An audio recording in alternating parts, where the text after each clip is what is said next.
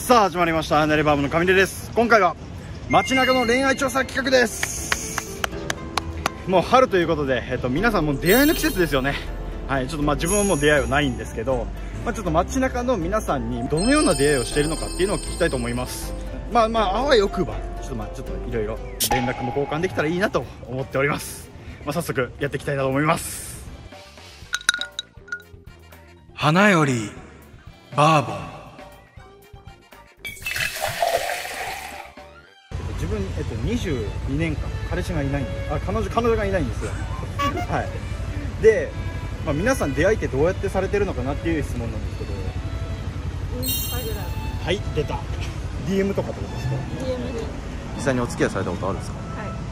マジっすか？ちなみに彼今144キロあるんですけど。でなんかアドバイスするとしたら何かありますか？だいぶ丸くしてくれましたね。皆さんのちょっと出会いの場所っていうのをお聞きしてましてどうやって、えっと、皆さんは出会いを求めているのかと。えー、なんやろ。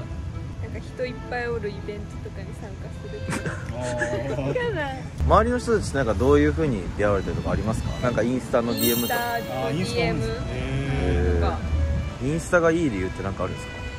気があんまりね重くない。厚かましくない。あさらってるあ LINE より気軽ってことですか？うん気軽やと思う。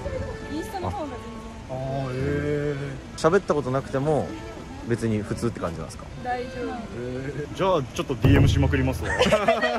マジっすか？と夫頑張って頑張って。体重ってちなみに関係あります？体重？144キロ。身長かな？身身長いくつだっ180ですおお動画見てもしいいなと思ったら DM してあげてくださあ全然お願いします。じゃあ上出君今話をまとめるとはい。LINE 聞くよりインスタの DM の方が敷居が低いらしい。そうなんですか？いやなんか全然思ってたのと全く別物でしたなんか。インスタ交換した方がいいのかな？るほど。皆さんの出会いを聞いてまして友達に紹介してもらうとか？あー。インスタめっちゃ使うとか。あー。例えば自分から DM 送ったら気持ち悪いと思いません？あそんな感じなんですね。ちなみになんかインスタでこういう投稿してたらあ素敵だなとかってあります？容姿以外で。してない方が。あ何にも投稿してない方がいいですか？自分にアドバイスするとするのはどういうところを直したら コミュ力。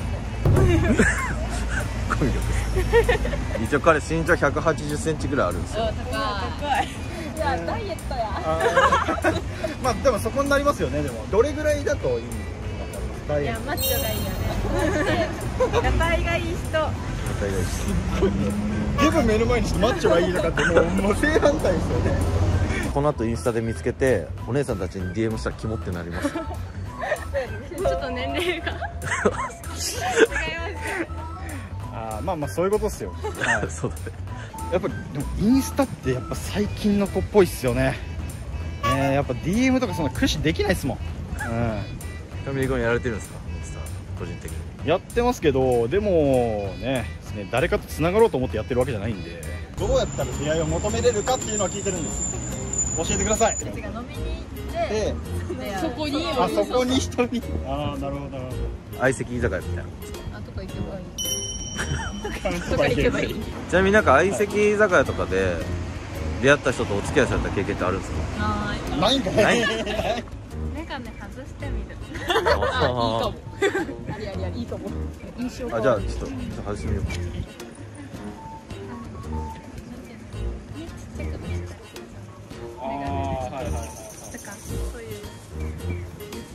外したんですけど全然見てくれんよ。いいと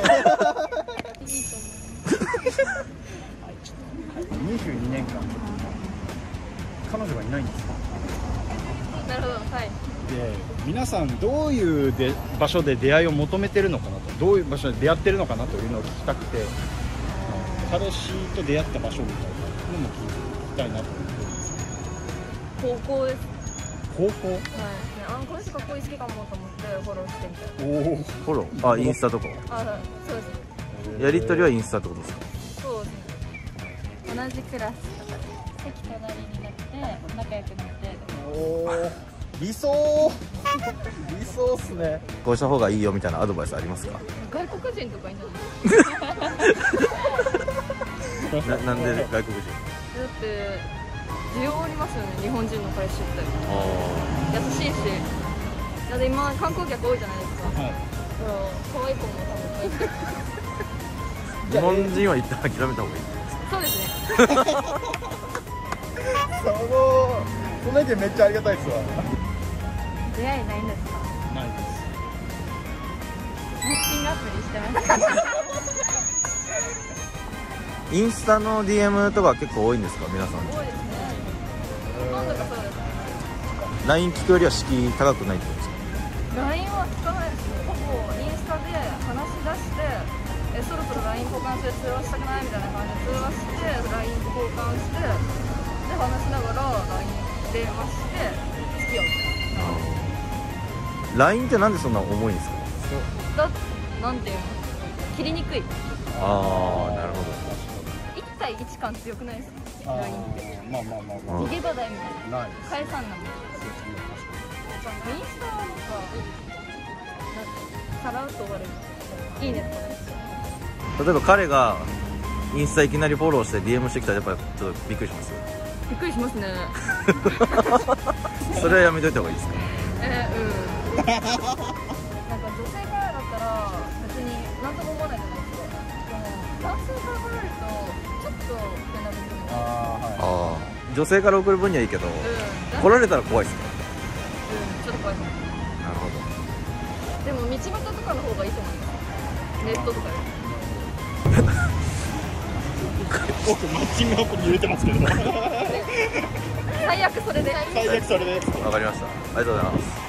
ありがとうございます。やっぱりキモいってさ。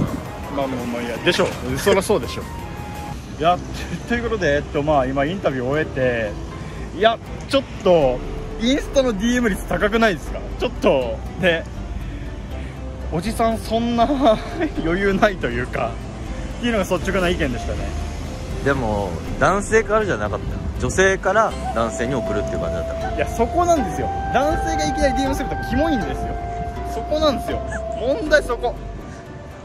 街中で声かけるかじゃあ本当にいや合ってるってことですよねこのスタイル。まあ、まあやり方は合ってるということで。まあちょっと今年はちょっと彼女を見つけたいと思います。この動画が良かったと思う方はチャンネル登録高評価ぜひお願いします。次の動画でお会いしましょう。バイバイ。